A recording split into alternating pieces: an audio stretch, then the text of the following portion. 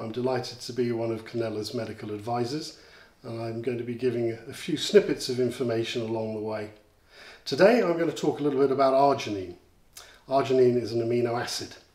It's an amino acid that is called a semi-essential amino acid. This is because we can make it and as adults we do. Children, however, can't make enough, so we have to eat it. An essential amino acid is one that has to be eaten, a non-essential, one that we make abundance of. And this falls in the, in the middle. It's extremely important. So many different angles to talk about. And I'm going to try and summarize it here. In humans, it's one of the most metabolically versatile amino acids and serves as a precursor, a starting point, a building block, if you will, for several different um, metabolic uh, compounds and pathways. But the most important one is nitric oxide.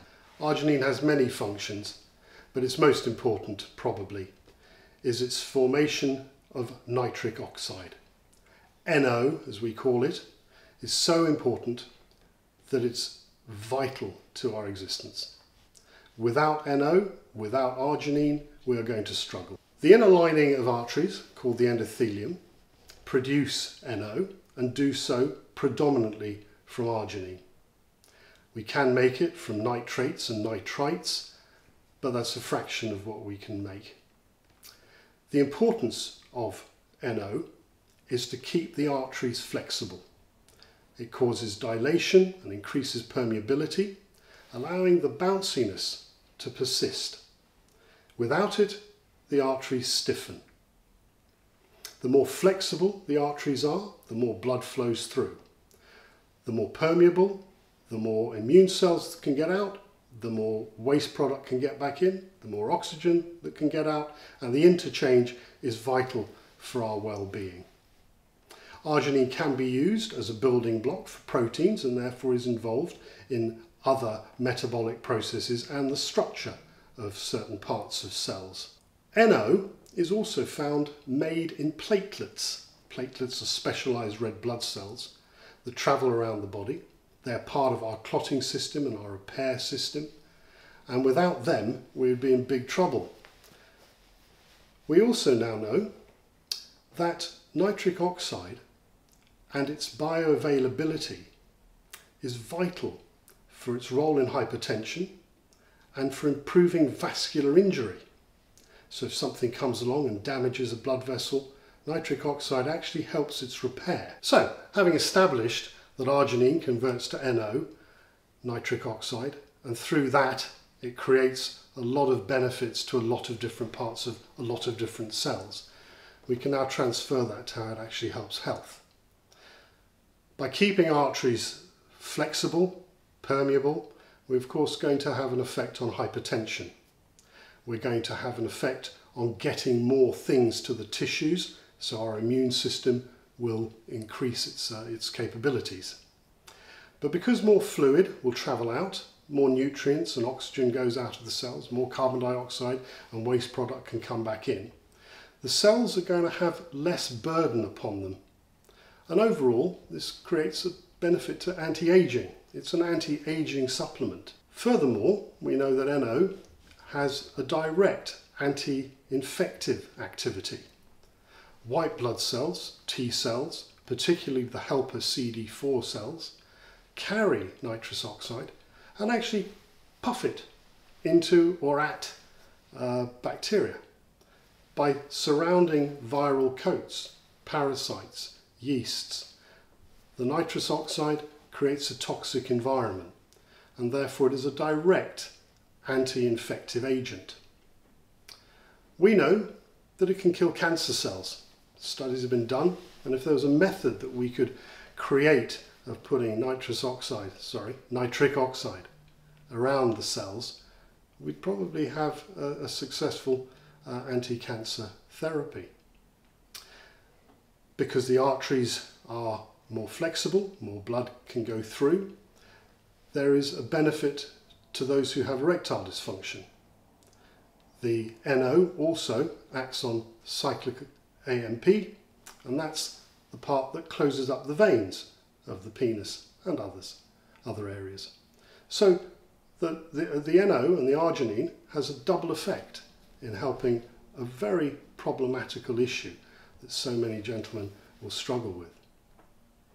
Furthermore, we know that arginine through NO can influence the hyperacidity in the stomach and therefore help reduce one of the biggest problems that most of us face in practice, which is GORD, gastroesophageal reflux disease, but also gastritis and potentially ulcers. Furthermore, arginine seems to have a benefit of reducing uh, LDL and raising HDL. And combining that with its effects on the pituitary gland of making, making antidiuretic hormone or vasopressin and also stimulating growth hormone, extremely important as I said earlier for children, uh, we've got a remarkable uh, amino acid uh, and, uh, and its function. So from what I've explained, we can see that arginine is potentially a very successful therapeutic medicine, a medication in effect. And although we're not meant to be talking like that about natural compounds, food be thy medicine for example, arginine has actually been studied to be considered as a, uh, as a drug, as a medicine, um, when given at supraphysiological doses. Like any drug, like any compound really whatsoever, like any practice of any sort, there are risks and side effects. And it is extremely important to understand those that come with arginine, particularly if more study uh, as you go forward and consider its use comes into play in, as part of your practice. Because of its association with blood vessel dilation, you have to be very careful with conditions associated with that. Whilst it can be very useful at the early onset of, say, an infection where you want more white blood cells to get out into the tissues, what you don't want is too much arginine that might create more of a flooding into tissues because of fluid leaving the blood vessels and going in. We've got to be careful therefore with, of, of things like migraines, which is often to do with blood vessel dilation, septic shock, people who are particularly ill with, with an infection, who may therefore already be having a certain amount of uh, dilation, and of course with strokes. Although strokes are generally due to clogging of an artery, 10% are actually due to a bursting of an artery. You don't want that sort of artery to expand. But when we do clog an artery in a stroke, other blood vessels will try and uh, repair the, uh, uh, the damaged area.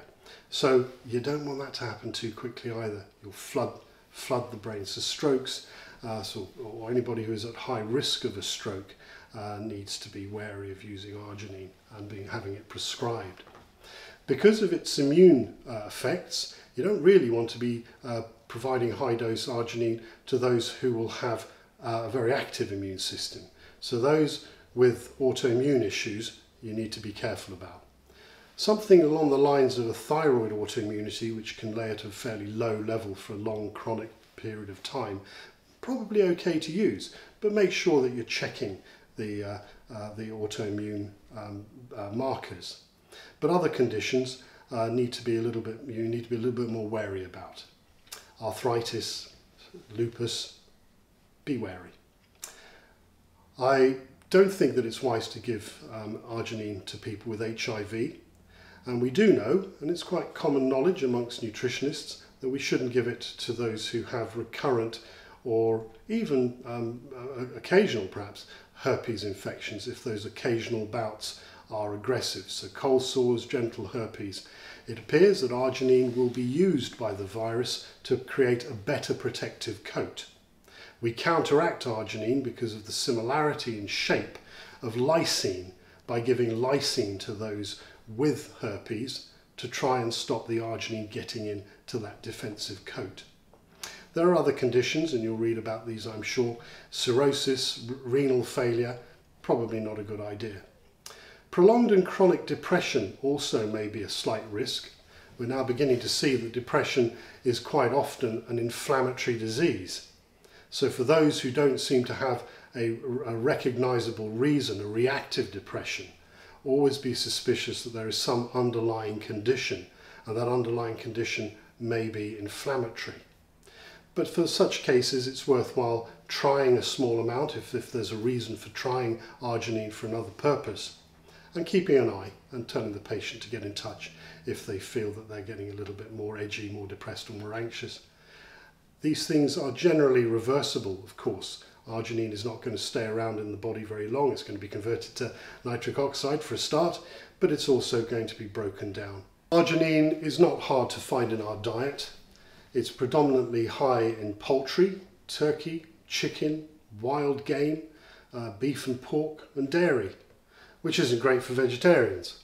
And we should be focusing more, of course, on vegetarianism as much as we can, or at least keeping our meat uh, intake down to a minimum, I think. But vegetables provide us with arginine very comfortably. Chickpeas and other lentils, pumpkin and sesame seeds, squash is quite high. Uh, nuts, including peanuts, which aren't a true nut, but they all have good levels of arginine. So does whole wheat, and so does spirulina and seaweed. Um, the whole wheat is an interesting one because people who have herpes, uh, if they're having an outbreak, are probably best not having um, whole wheat. You need to sort of push them if they are going to have bread of any sort to the unhealthy stuff until the uh, uh, until the lesion uh, settles and disappears. The amount that we generally eat, if we are an intermediate meat eater, is probably around four to six grams per day, or the day that we would eat the meat. Without it, we're probably getting under four grams. It's quite hard to eat a lot of lentils to keep up an arginine uh, supply. So I generally recommend that most people will benefit from a, a, a supplemental intake. It's not absolutely necessary, but if you can, and if you think the, your patient should, or if you are an individual looking at this for the benefit of how best to take arginine, I think aiming at around six grams in, uh, in a day, based to a degree upon your diet, is not a bad idea. You need to start, if you're going to take supplemental arginine, on a lower dose, simply because it's got an effect uh, that can be quite effective. So if you take too much too quickly, you might find both your tummy and your arteries uh, behaving. You may start to feel a little bit uh, tummy rumbly. You might get some flushes if you start at a high dose swiftly. But building up to six grams a day, bearing in mind what you've been eating, and bearing in mind you'll have looked and seen how much you might have uh, in 100 grams of pork or 100 grams of lentils, you can govern what your best uh, levels are. Definitely split it through the day though. Don't take too high a dose in one go. And I think that is probably a summation of arginine that I hope will get you using arginine as a staple, basic sort of uh, supplement alongside the, the other basics of probiotics, multivitamins generally, vitamin D through the winter, etc. I hope you found that of help. Don't hesitate to get in touch if you have any questions. Thank you.